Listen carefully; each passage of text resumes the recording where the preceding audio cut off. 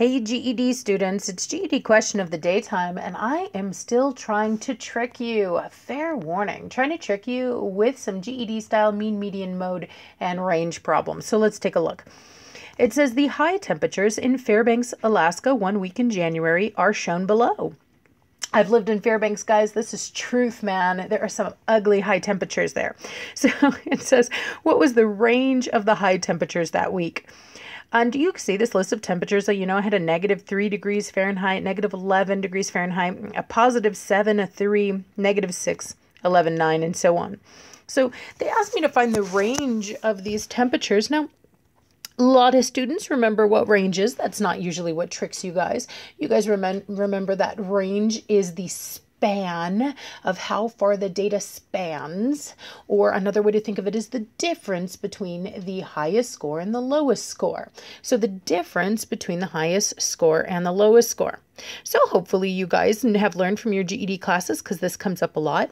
Difference must always be positive. So uh, just one way to make it positive would be to start with the high. So that's what I'll do. I'll start with the very highest temperature I see. And in this list, the highest temperature I see is a positive 11 degrees. And from that, I will subtract. Difference means subtract the lowest temp. Now let's take a look. The lowest temp is going to be the coldest temp. Obviously, the more negative you go, the lower you are. So the coldest temp I have in this list is negative 11 degrees Fahrenheit. Now, I'm before I write this problem, I'm just going to come over to the side and show you how students will do this wrong.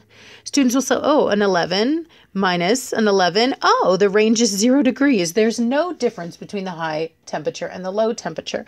And yet, hopefully, you know that doesn't make sense. Um, if you've ever been in a negative 11 degrees, it feels a whole lot different than positive 11 degrees. In fact, negative 11 degrees will make positive 11 degrees feel uh, downright balmy. Okay, y'all, there's a definite difference. So this math doesn't make sense. Something went wrong. And let's take a look at doing this the right way. I want to subtract because this is a difference problem. However, the number I'm not I'm subtracting is not 11 degrees. The high temperature was not 11, it was negative 11. So notice I end up with a second minus sign. Now you might be saying, "Kate, Kate, Kate, I'm not allowed a second negative sign." That's true. But your calculator can handle this or we can handle this mathematically. Basically, what this is telling you to do is take 11 and minus negative 11 degrees. Now, you can do that in your TI. Uh, 30xs by typing 11 and then you want the minus button that's on the right and then the negative button is down in parentheses at the bottom and then type 11 and you'll see you get 22 degrees now how could that be well Let's remember that minusing a negative number or the opposite of subtraction, remember a minus sign can be thought of as opposite. The opposite of subtraction, the opposite of negative is addition. So two negatives in a row turn into a plus. 11 plus 11 is 22 degrees. It's really easy to picture this on a thermometer. If positive 11 degrees is up here and negative 11 degrees is up there, I've got 11 from here to here, 11 from there to there. Of course, it's a total of 22 degrees between the two, uh, difference between the two. So no matter which way you do it in a TI, remembering the mathematical algorithm or drawing a diagram, you're going to see that we have a 22 degree difference between the high temperature and the low temperature here.